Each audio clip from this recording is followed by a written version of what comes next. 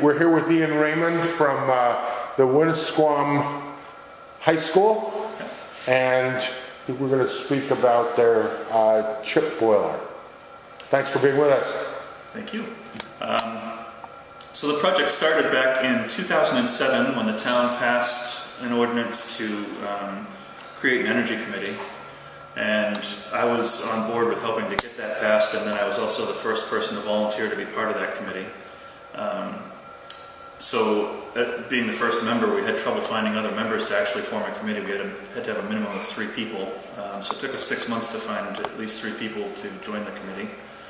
Um, once we had the committee going, I was elected the chairperson, and I worked with the town you know, I, I, I, was a newbie. I didn't know an awful lot about the energy efficiency things. Um, so I attended a few workshops and, worked with the town and with PSNH to do electrical upgrades at the town buildings. And we did uh, lighting upgrades and everything at all of our municipal buildings.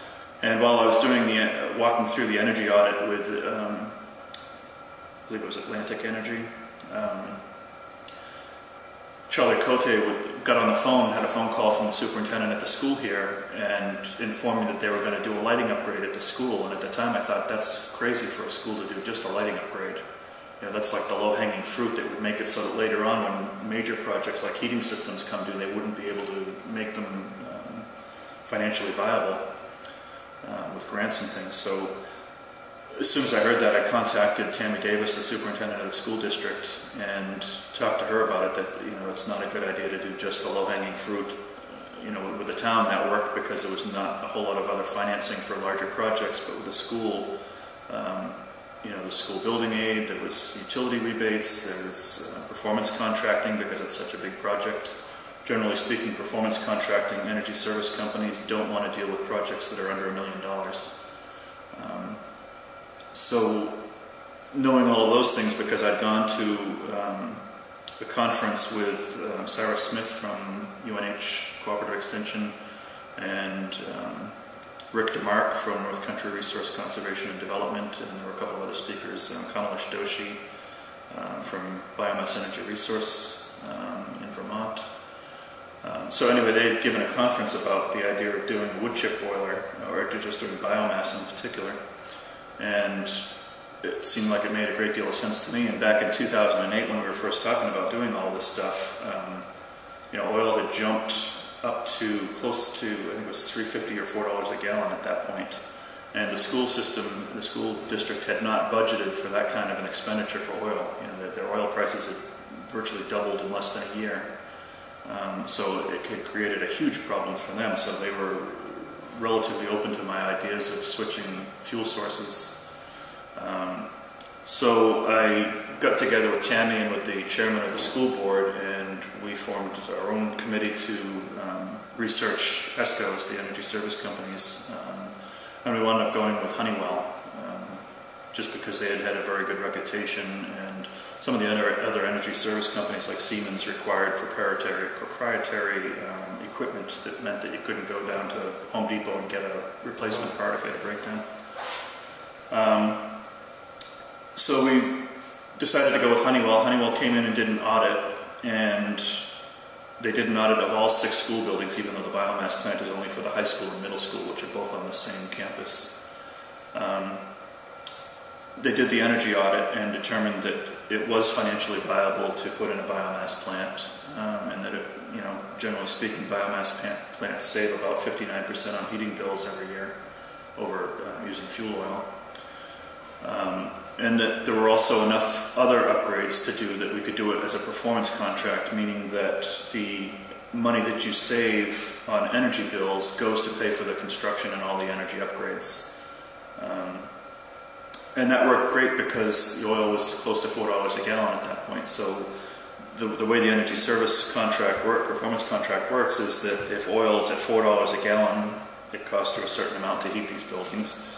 And if chips, wood chips, I think at that point were about $45 a ton, the difference in cost between heating with oil and heating with wood chips, there was a great difference in the cost of those two things, so it made it so that it could pay for the, the work to be done. However, by the time we went through all the political stuff of voter approval, and you know, first the school board had to approve it, then the budget committee, and then the voters. By the time we got done all of that, um, it was late 2008, early 2009, and the oil prices had dropped down to like a buck 85 a gallon, and the performance contract no longer worked. There wasn't a great enough differential in price between oil and wood. Um, so at that point, after investing so much time in the project, I couldn't give up on it. So I went to the school building authority, New Hampshire School Building Authority, and gave them a presentation and got a, a grant, an ARRA-funded grant in the amount of $1.2 million. Um, and that chunk of money made it so that the difference between the, the full project cost and the amount that we got for the grant allowed us to do the performance contract. And what was the full price of the uh, project? The project itself, the actual construction cost was three point, somewhere between 3.6 and 3.8 million. And then the financing cost on top of that brought it up to 5.2 million. So by getting the 1.2 million dollar grant, it dropped it down to roughly 4 million dollar project. Um, and then we were able to get $30,000, $31,000 in change um, in utility rebates we, because we're a regional school district, we got New Hampshire School Building Aid um, in the amount of 50% of the project cost. Um, so the combination of all those things made it so that it had no increase in the property taxes for the residents of the school district. It was a self-funding project, it didn't affect the tax rate at all. Um, and looking into it, you know, we, we, looked into both wood pellets and wood chips, but the savings on wood chips, because it's a less processed product um, were basically double what the savings would have been with wood pellets. Um, so wood chips made a great deal of sense to do here. Um, in addition to that, we replaced the lighting in all the six school buildings. Um, there was 2,638 lights that got replaced. They did weatherization and all the building envelope uh, upgrades in all of the school buildings. Um, they were able to replace a boiler, I believe, at the middle school it was a big enough project too. One of the things with school building aid is that you cannot use school building aid for deferred maintenance issues. So if the school system decides that they don't want to replace a roof or something, um, school building aid won't help them out later on when the roof is leaking and they're, you know, the building's getting mm. destroyed. But because we're doing such a big project, um, school building aid kicks in if the project you're doing is equal to 25% of the capital asset value or more. And by doing a project this large, it allowed them to tack a lot of other things into school building aid that otherwise wouldn't have been allowed. So they were able to do um, a boiler. I believe there's one here at the middle school that they did, and I think they may have also done one at the Sanbornton Central School. Um, and then they were able to replace a roof on the agricultural building here at the high school campus. Um, and there were a few other things that wouldn't have been allowed in school building otherwise. So that worked out great. Um, some of the other pitfalls that we, or obstacles that we ran into along the way were, were that um, in 2008 when the oil prices had dropped and it was no longer looking like it would be a self-funding project, both the school board and budget committee unanimously voted against the project, which was incredibly disheartening. It's like, oh, you know, this is, it's still an important project. Oil's not going to stay at a buck 89 a gallon. Um, so it was after that point that I'd gotten the grant and that made it so that uh, the school board was on board with uh, doing the project.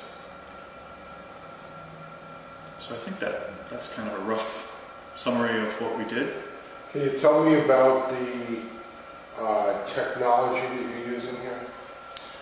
It's a Messersmith um, wood chip boiler with a Hurst, uh, I'm sorry, wood chip furnace with a Hurst boiler on top of it. It uh, puts out 5 million BTUs um, it's connected to the high school and the middle school on two separate loops, one for each school. Um, and because this is a, it's a regional school district with three towns going to it, um, it's also an emergency shelter. And in New Hampshire, the law states that if you are running an emergency shelter, you cannot have wood as the only source of heat. You have to have a backup source. So what we did was we were able to keep the fuel oil fired boilers at the high school in the loop as well, so that if um, you know if there's an issue where for some reason the wood plant isn't working, they can uh, kick on the oil boilers. And the way that the, the wood-fired boilers work too is that, you know, they, they, they are most efficient and burn most efficiently when they're going full bore. There's three different um, heat settings that they can be set at, but they work best and are most efficient when they're going full bore. And so during the shoulder seasons of spring and fall, it's generally not the best to, to uh, run the, the wood-fired boiler. So by having the fuel oil boilers uh, in the high school, which are they're actually dual fuel boilers, um, they're both natural gas and oil. And after we had the energy audit, those are all the boilers have been switched to natural gas, which is much less expensive. Um, so in the shoulder seasons, they can switch that on if they need to, if it doesn't look like the wood-fired boiler is going to be working efficiently. The first year that they operated it, they because they wanted to get the bugs worked out of it before the, the main part of the heating season kicked in, um, they ran it the entire season nonstop, and even that, their their their heating prices, they went through 832 tons of wood.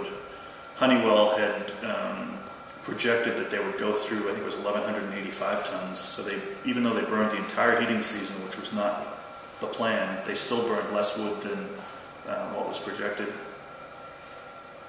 And uh, part of the thing with the performance contract, which is such a great thing, um, is that Honeywell guarantees the savings, the energy savings for the school. So with Honeywell's energy audit, um, you know, engineers came in, figured out exactly how much money could be saved by doing the building envelope upgrades, the lighting upgrades, some of the motors on some of the, the uh, heating equipment, um, variable frequency drives on the pumps. Um, all of those things the engineers can calculate very specifically how much money is going to be saved. And then, because it's a performance contract, Honeywell guarantees that savings. If you don't make the savings, Honeywell writes you a check for the difference between what they projected and what uh, you actually saved. And so far, they are far above what Honeywell projected for savings. And when they're above, they get to keep the savings, right? Yes, yep. And they're paying for the project out of the savings? Yes, yep.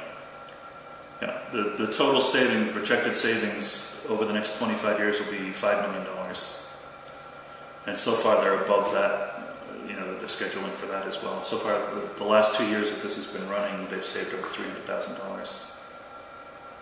How many square feet between the two schools is this? I believe it's roughly 225,000 square feet. Is there any cooling associated with this? No, no. And it's not combined heat and power either. Although um, the gentleman from Better World Energies, who was sort of does the final installation work on these, um, he's in the process of trying to come up with a way to make these both combined heat and power, where they'll produce electricity as well as heat by putting um, a generator of sorts into the smokestack. Can you get me some numbers for a case study so we can, you know, this is what they're paying with fuel oil, this is the cost, this is, you know, Yep, all that, maybe that's all in there already. I have the Honeywell audit report. That'd be great. Is that analog, is that electronic? Um, I don't think I have it in PDF format. I just have a physical hard copy. I'd still like to see it if that'd be okay. Sure, yeah, Cool. Yep. Think of anything else? um, So take us on a tour, show us. Sure, yep. What They've you got, got. um, One of the other questions that we were asked when we were first building it, one is the emissions. And when we do the tour, I'll show you that there's a multi-cyclone particulate separator, which takes the vast majority of, of, uh, of particulates out of the, the emissions. Um, and it also is healthier for the environment because there's virtually zero sulfur dioxide that comes out of it, as opposed to burning oil, which there's a lot of sulfur dioxide that comes out of the emissions from oil. Um, and from what I've read, I don't know specifically how accurate this is, but um, this size boiler, the emissions are the equivalent of um, five residential wood stoves. And yet this is heating roughly 100,000, uh, I'm sorry, 100 times the space of a single home. Cool. Thank you. Sure. So, So this chip bunker is kept empty during the summer so that it doesn't compost and catch fire, um, and also to keep vermin out of the wood chips. Um, I've never actually heard of any of them catching fire, but there's a possibility, I guess. they talked about that when we went to Crotched Mountain Yeah. about the same issue. Another um, design, I, I personally think of it as an improvement, is that the um, expansion tanks for this are mounted to the ceiling, those two big red tanks up there. Um, and that was all engineered specifically for this site. Some of the other schools have those mounted vertically on the floor, so the, the floor space in the plants are, are really crowded.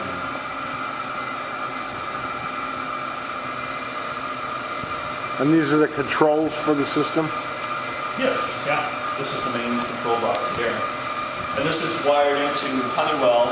Um, there's a DSL line that wires it into Honeywell so that they can keep track of how the system is working. Um,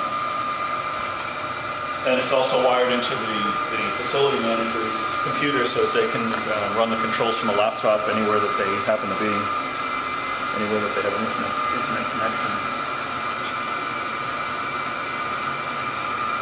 Another um, upgrade to this system, which is something that it's a change in the Messersmith design, is that the um, holes that are in the firebox um, that create the draft, there's a blower uh, to create draft in there, uh, so it actually looks like a blast furnace when it's going.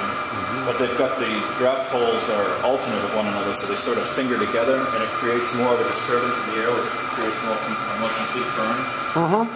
Oh, so the um, auger brings the chips to right to the bottom of this um, We can go down there. conveyor belt? I can show you how the auger thing works. Okay. Um,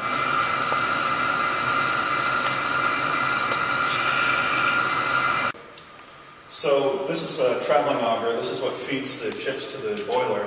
Um, there's a, I think it's a 14 foot auger on the end of this motor.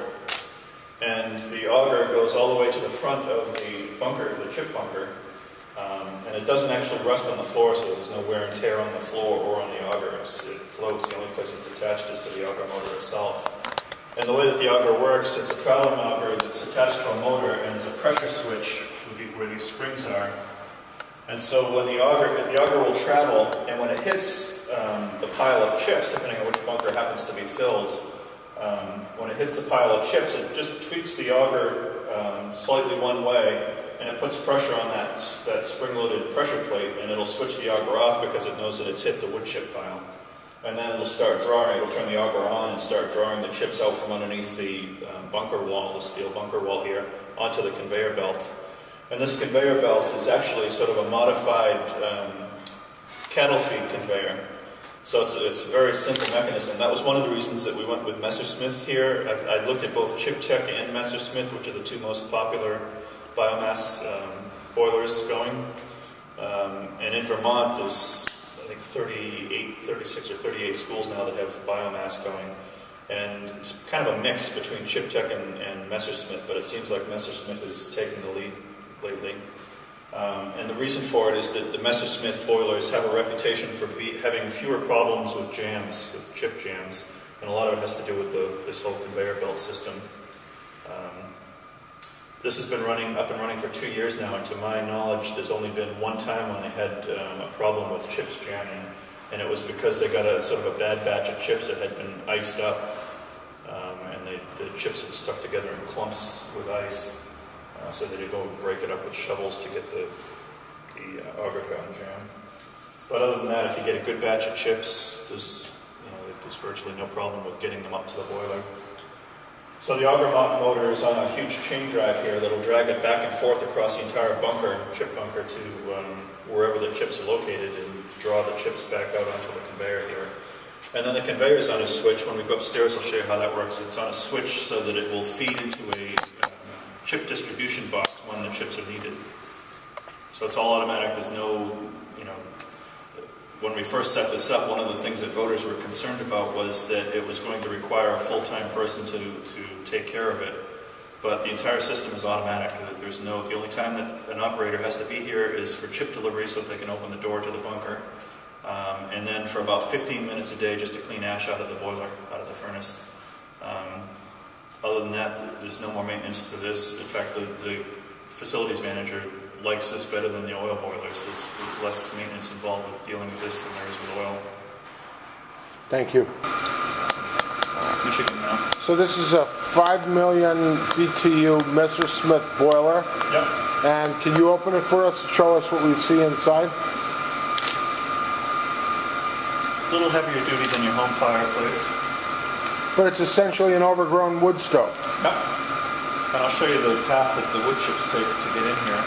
There's the there's a screen on the bottom that um, allows air to come up through the bottom as a draft, and then also through the side. So there's an incredible amount of air turbulence in there when it's burning, and it's just like a blast furnace, like you'd see at uh, you know a wrought iron uh, studio. Okay.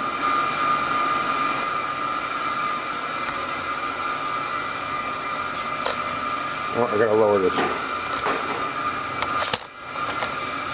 We'll edit this part out.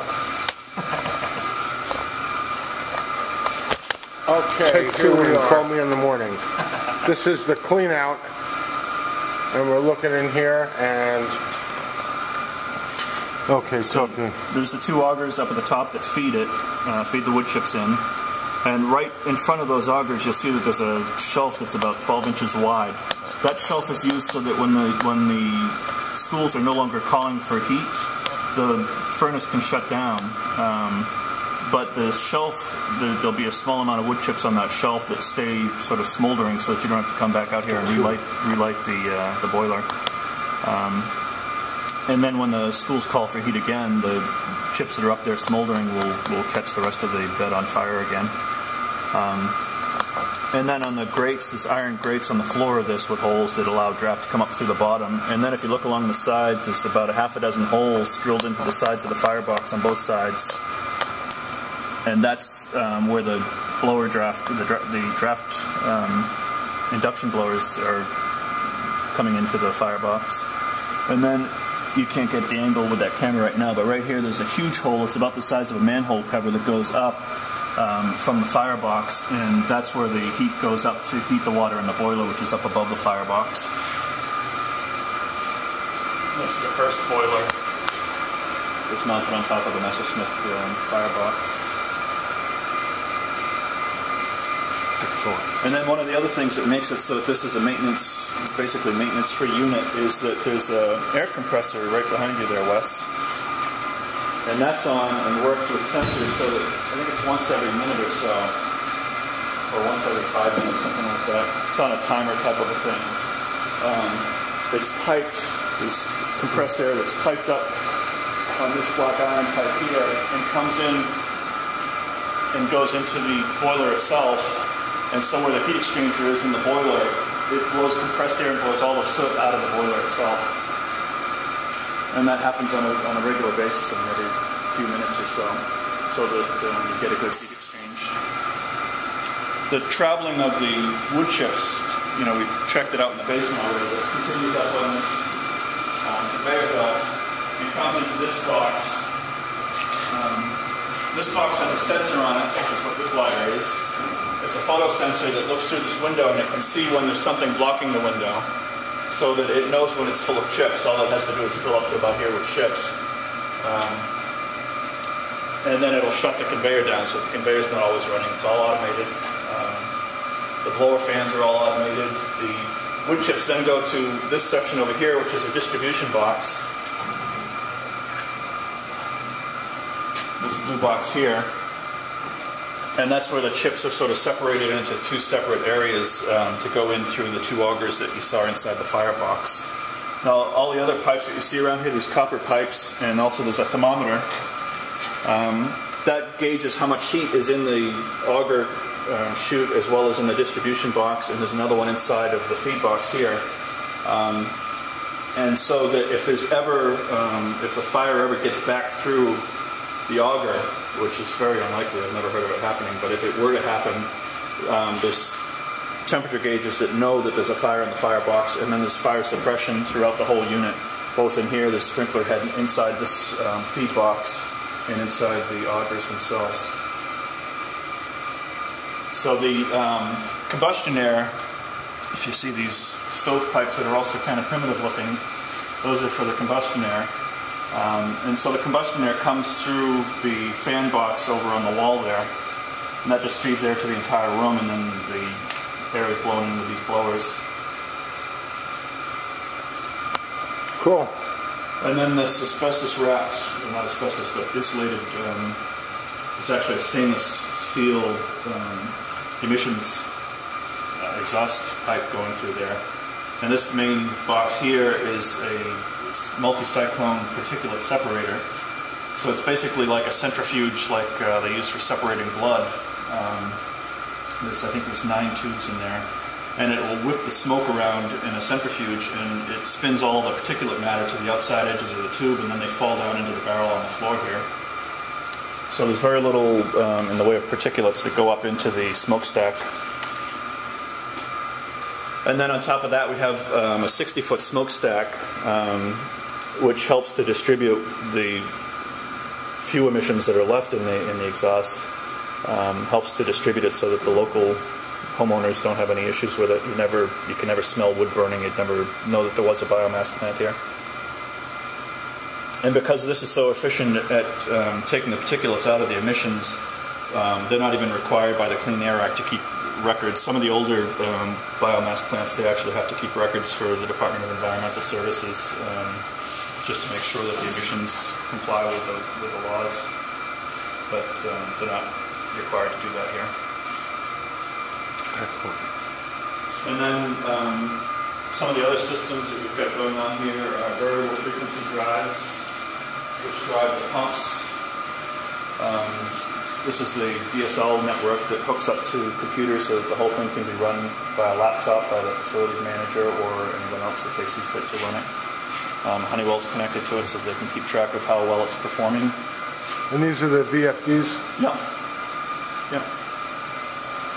a variable frequency, variable speed drive allows for a, uh motor to be used at variable speeds rather than only on and off, which means that they can save a lot of money, a lot of energy and a lot of money. Excellent. And a couple more, I guess. Yeah, there's several different pump systems working because it is pumping to two different schools, um, school buildings. And then there's also a couple of pumps up on top for the return.